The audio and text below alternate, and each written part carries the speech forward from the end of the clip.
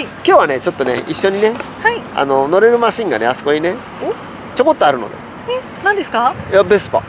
ベスパ？ベスパだったら乗れるだろう。ただあれも手強いよ。何が手強いか知ってる？何が手強いんですか？お価格お価格お価格が手強い。わお。価格か一番答えますね。おそうですね。はい。じゃあ軽くはい。行ってみましょうかね。高いですね本当だでもなんかもう眩しいな。えこれいくら？おいくら？129万8000円。おしゃれだな。ちょっとちょっとさこの格好じゃねえな俺乗るの多分。なんかもうちょっと違う格好していきたいな。えこれ本当どういう乗り味なんだろう。で動きそう。あ普通のスクーターでしょこれ。さあもちろんアクセルを今今エンジンかこう回したら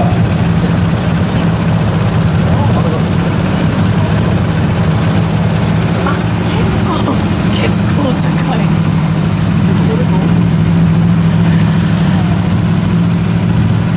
走り出したら大丈夫かと思うちょっとついてくるかまあ前に降りちゃいけない。ここに降りちゃえばそんなに。そんなに届かねえのか。安心安全これはクラッチとかなじゃないこれあこれも前ブレーキしようって言うからなるほどじゃあはいはいかわいいすいませんありがとうございますこれもしかしたらセンターあセンタースタンドしかないのか。そういうパターンですか？センタースタンドちょっと立ててみなさい。えー、これ？これか。ちゃんと根性入れて。ちょっと待ってこれ本当にいや。えー、どっから？はい。いや重い。あ今意外と 根性出しなさいよ少し。本当にもう。感情出してます。出してこれ。えー、じゃあこれちょっとあれか？やっぱまあ大型。ちゅうかあれだよ。排気量の問題よりも値段の問題で乗っていいかどうかのあれがあるな。お値段が129万8000円。129万8000円29万8000円。だどうすんだよ。何かあったらお買い上げだからね。わー。どうしよう。わー。おセクシーなあれじゃないんだからさ。セクシー番組じゃないんだから。もう一回言ってみて。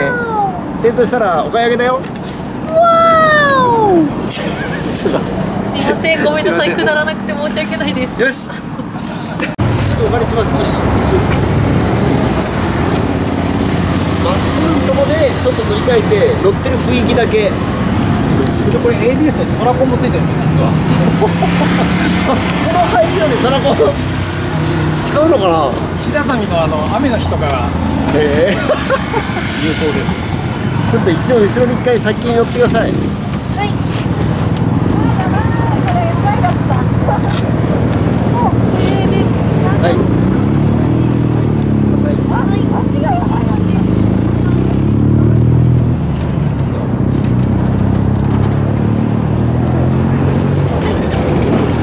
そっちでそこで待っててそこで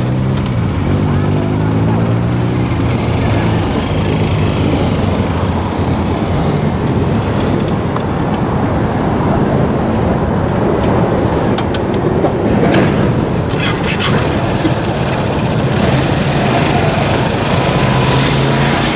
出たかあタッチのクリッ